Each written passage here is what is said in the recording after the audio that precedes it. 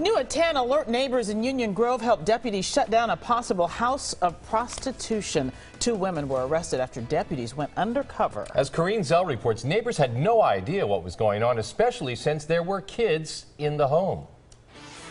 The sheriff says this has been going on since at least mid-September, possibly a lot longer. Some neighbors believe the women have been selling sex out of their home for years. In this quaint neighborhood near Union Grove High School, Racine County deputies took in two women they say were running a prostitution business from their home. Inside, deputies say they also found drugs. I was shocked. I'm like, really? I live right across the street and I'm like, I never noticed anything. This neighbor feels naive. I never would expect this at all. It floors me. I'm shocked.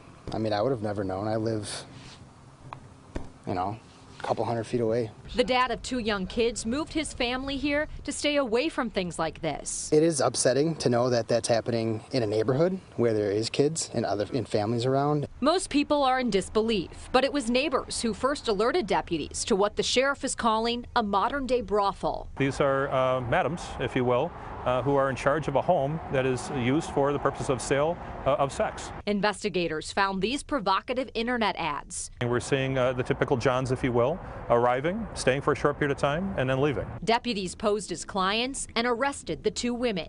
Now, a notice in the door from the landlord they were renting from to vacate the premises. Signs children lived here all over the yard. It's very disheartening when children are involved. The women will appear in court tomorrow. The sheriff believes the children who were living in the home are with family members. Reporting from Racine County, Corrine Zell, today's TMJ4.